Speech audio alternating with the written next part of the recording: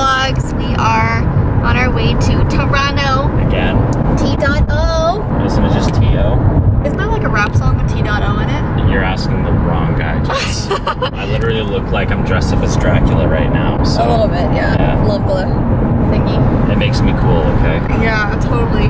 So, we are on our way to the Bon Iver concert. It's really special to me because I found Bon Iver when I was in grade 8. So I was like 13 years old.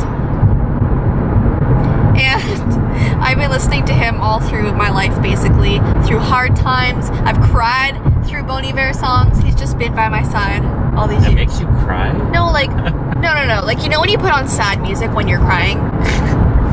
you know how people do that? Like, you want the music to understand your pain. So I always used to put on Bon Iver. So he's been with me throughout all my years.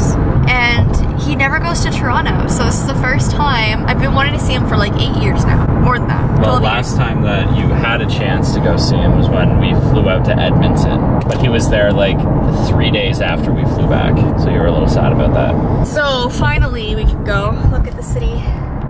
The city over there. And the really cool clouds. Those are really interesting clouds. So I wanted to give you guys a little bit of an update. Hold on, I dropped the camera thing.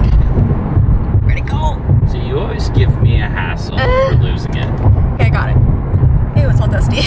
so I wanted to give you an update because you saw the video that I just did with Mandy where we called cursed numbers. I was reading the comments and people were like, please don't die. Are you still alive? Yes, I'm still alive, don't worry. Some of you guys were mad at me for doing that because you're worried about me.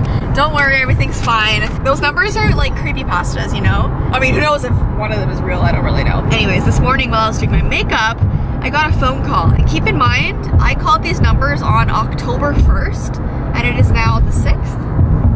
So it's been almost a week, right? So I haven't gotten any weird phone calls in those days, and I was like, oh, they're not gonna call me back. Well, today I was doing my makeup, getting ready for the closet, and my phone rang, and it was unknown number, and I wasn't thinking about the cursed numbers. I just picked up the phone and I was like, hello? And there was a short silence, and then this man was like, hello? In like this really low, like raspy voice. And right then and there, I thought about Wrinkles the Clown that we called because it sounded just like his voicemail. So I was like, hello, who is this?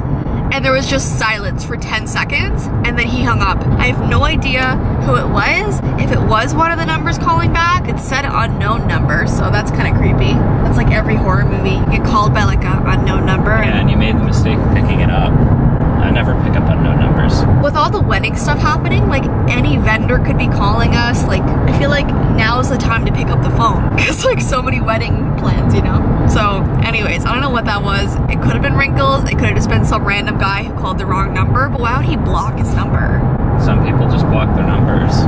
It's not an uncommon thing these days. It's so weird. Anyways, who knows? But yeah, we're heading to Toronto. We're a bit early because every time we've gone to Toronto, we've been late. So we've tried to be early this time. I feel like I went full dad on this one. We left at four, It doesn't start till 7.30, but it's but we a didn't leave at drive. four in the morning, so I'm not at the true potential yet. No, that's all dads when you have to go to the airport. Yes. Yeah. look at the skyscrapers there.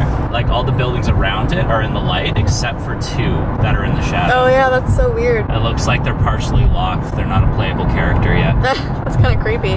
Anyway, so Kai just told me this is his first concert Oh, I said I went to go see the Great Big Sea when I was a little kid. when you're five.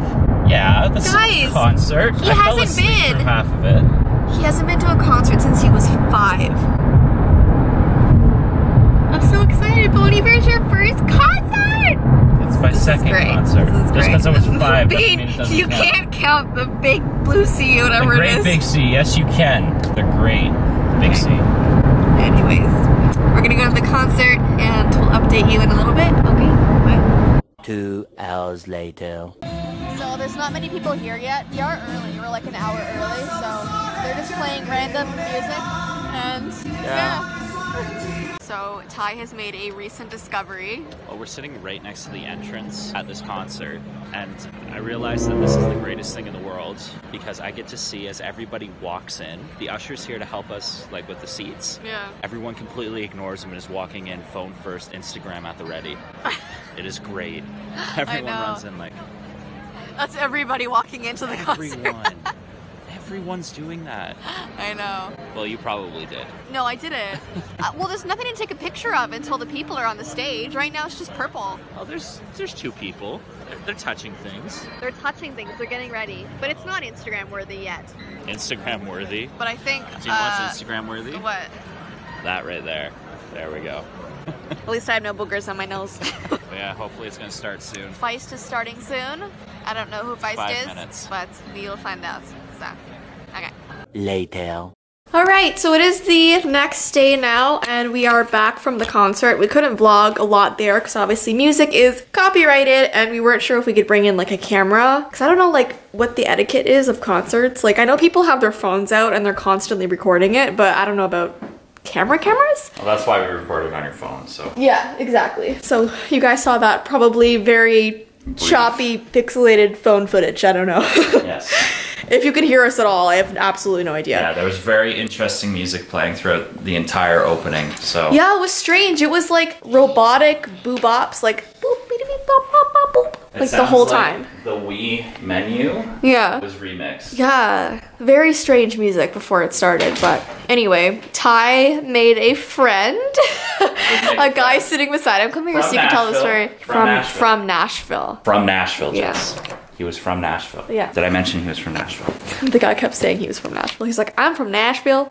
we're like, oh okay. And he said it like six more times. He was a really nice guy, and Yeah. I don't want to make it seem like we're making fun of anybody. Oh, no. We're not. The only thing that I was uh, pointing out at the concert was the fact that everybody was walking in, not even paying attention to the ushers, just with Yeah. their phones out, Instagramming. Yeah. No, but what was he telling you? Because He was talking about, you know, that he's a big fan. He was asking me if I like sports because he was wondering if the Leafs were playing because we were in and the Scotiabank Arena, which I'm used to calling it the ACC, because that's where the Leafs play, and I'm pretty sure the Raptors play there too. And the hockey season's just starting up. I don't watch any sports, so I told him, unfortunately, you're sitting next to a guy who doesn't watch any sports whatsoever. He took that as I hate sports. And while the intermission was going on, as they were setting up between the starting act and Bon Iver coming on, there was just a video of a guy doing free throws. yeah. And there was a percentage of how many he made versus how many he's taken and all that going on. And the guy was just talking to me all that stuff. It's like, so since you probably hate sports, I'll explain what's going on. So that guy's doing free throws right there. Oh, he's trying to explain sports to you? And It's Oh like I know gosh. sports. I just don't watch them. I don't like watching it on TV. I never understood watching it on TV. Watching Yeah. it live, yeah, it's great. Never on TV. Tell them what he asked about the fries. So while he was there, he explained he was from Nashville, and the reason why they came up is because there was three other places that they were performing, and Toronto ended up being the cheapest, despite the fact that they were from the states. Yeah. So they came up, and he was looking around, and he turned to me and it's like, "I know this is an odd question." What are those weird fry things that everybody's eating? So I said, well, mostly everyone's eating ketchup on fries, but if you see something really weird, it's probably poutine. You know, gravy, cheese curds on top of fries. Poutine, is that how you pronounce it? Yes, but if you go to French Canada, they'll say everything that we're doing is wrong. Yeah, I'm always so surprised. I was telling Tye this. Like, whenever I describe poutine to someone who's not from Canada, or if I post a picture on my Twitter, people think it's so gross because it's fries with gravy and cheese curds, and people think that gravy on fries is disgusting, but we're so used to it because we're from Canada, and like, it tastes so good. I feel like even if I wasn't from Canada, I would look at it and be like, mmm.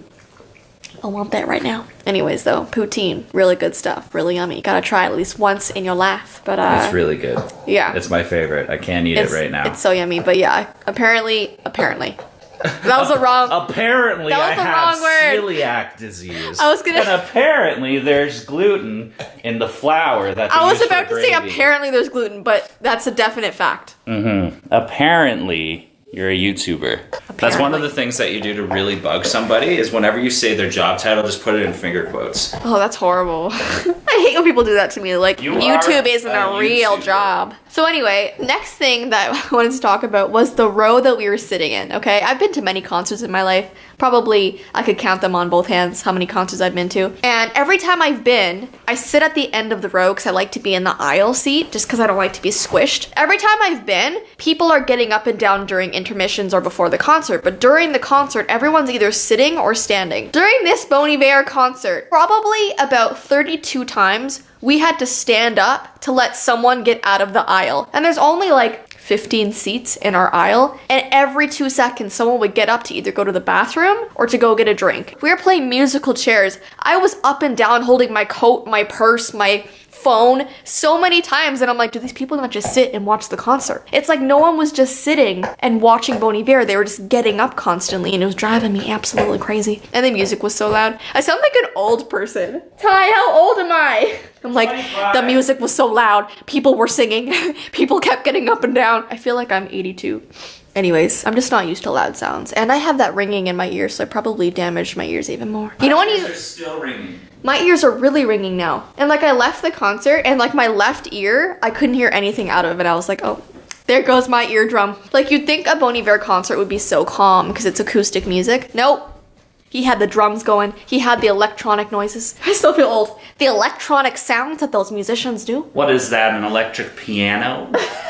Anyways, though, we had a really good time. I was so glad that I finally got to see him live after so many years. So I'm very grateful. Tickets were expensive though. Pony Bear, why'd you make it so expensive? Anyway, we're gonna get going now. And Minnie's here, saying goodbye. She's glowing. Look at you glowing in the sun. Anyways, I hope you guys have an awesome rest of your day, and we'll see you in our next vlog. Bye. See you guys.